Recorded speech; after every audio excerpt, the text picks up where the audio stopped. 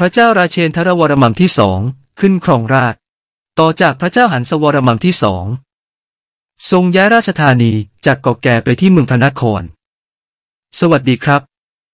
ประวัติพระเจ้าราเชนทรวรมัมที่สองผมเคยพูดไปบ้างแล้ว ในคลิปก่อนหน้านี้ พระองค์บูรณะปราสาทปักศรีจำกรง ที่สร้างโดยพระเจ้าหันสวรมัมที่หนึ่งชื่อปักศรีจำกรง เป็นเรื่องเกี่ยวกับชีวิตของพระองค์ ที่ต้องหนีภัยไปอาศัยในเทวาลัยที่ปราสาทพระวิหาร เปรียบดังนกที่ต้องถูกขังอยู่ในกรง พระมารดาเป็นราชธิดาของพระเจ้าอินทรวรมัมที่หนึ่งกับพระนางอินทรเทวีหนีราชภัยขณะทรงพระคัน และถูกตามฆ่าสิ้นพระชนในป่า พระเจ้าราเชนทรวรมัมที่สองทรงบูรณะปราสาทปักศรีจำกรงที่สร้างโดยพระเจ้าหันสวรมัมที่หนึ่งและมาแล้วเสร็จ ในรัชกาลพระเจ้าชัยวรมันที่ห้าผู้เป็นราชโอรส พระเจ้าชัยวรมันที่ห้าพระราชสมภพพุทธศักราช 1501 ครองราชพุทธศักราช 1511 ถึง 1544 มีพระนามหลังสวรรคตว่า พระบรมวีรโลก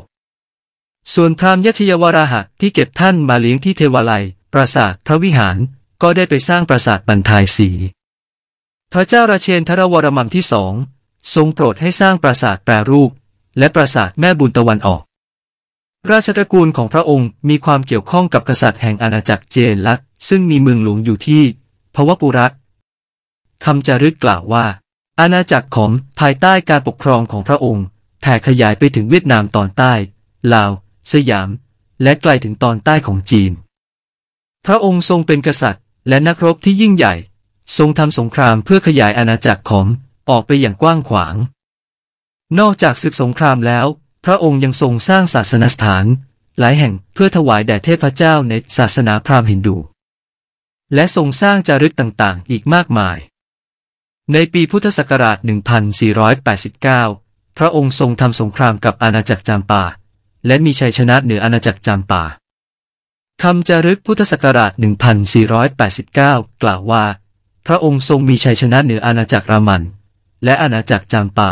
พระองค์ทรงเป็นกษัตริย์ และนักรบผู้ยิ่งใหญ่ ดาบของพระองค์มักเปื้อนเลือด ร่างกายของพระองค์ แข็งราวกับเพชร แม้ว่าพระองค์จะทรงลงโทษผู้กระทำผิดอย่างรุนแรง แต่พระองค์ก็มีความเมตตาต่อผู้บริสุทธิ์ ดั่งห้วงน้ำในมหาสมุทร จารึกที่พบในประเทศไทย เป็นจารึกที่มีพระนามของพระเจ้าราเชนทรวรมัมที่สอง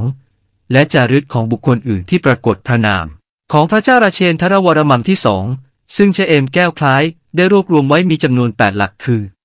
1. จารึกบ้านพังพวยปจ3พุทธศักราช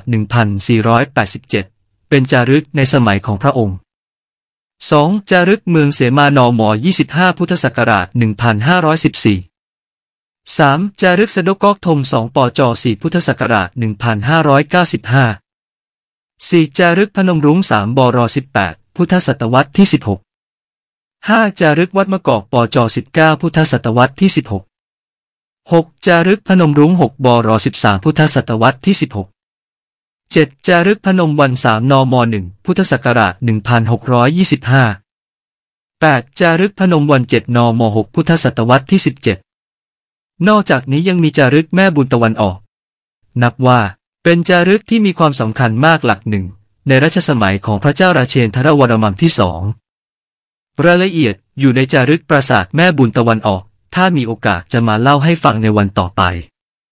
แต่วันนี้จะให้ดูภาพของปราสาทแปรรูป และปราสาทแม่บุญตะวันออกที่สร้างในสมัยพระเจ้าราเชนทรวรมัมที่สอง วันนี้เล่าให้ฟังเพียงเท่านี้ จะเล่าเรื่องใหม่ให้ฟังอีกในโอกาสต่อไป